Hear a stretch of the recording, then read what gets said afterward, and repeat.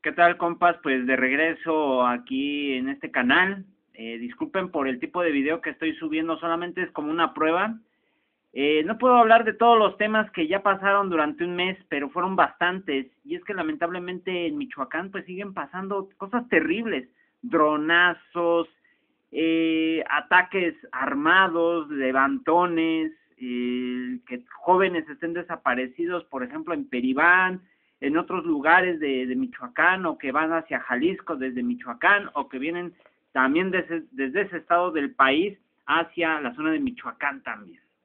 Y bueno, pues los ataques entre los grupos narcoparamilitares como los Viagras y Cartel Jalisco pues siguen cada vez creciendo.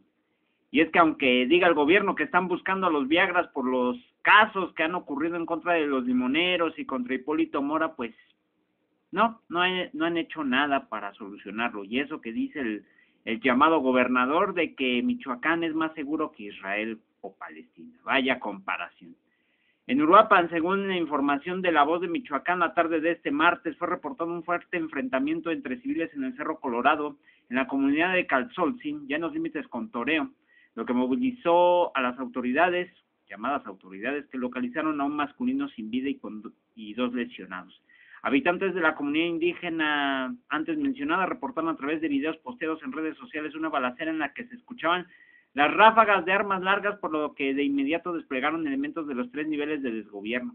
Fue así que durante los recorridos, personal de la Guardia Civil y Fuerzas Federales encontró en el acceso a una choza una camioneta Toyota de tipo Tacoma, de color gris, con placas del estado de Jalisco, que al parecer podrían ser gente del cartel Jalisco de las cuatro letras presentaba múltiples impactos de arma de fuego.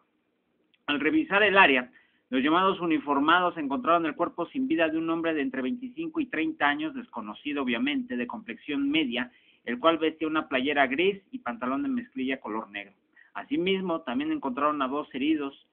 Uno de ellos dijo que tenía 43 o tiene 43 años y otro de 48, los cuales fueron trasladados con guardia policíaca a un hospital de la región.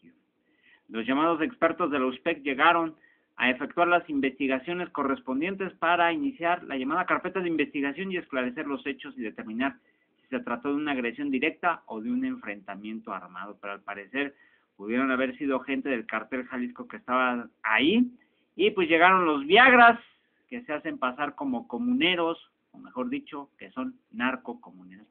Y estas pues son imágenes, bueno, mejor dicho, un video en donde pues se escuchan las detonaciones, no lo puedo pasar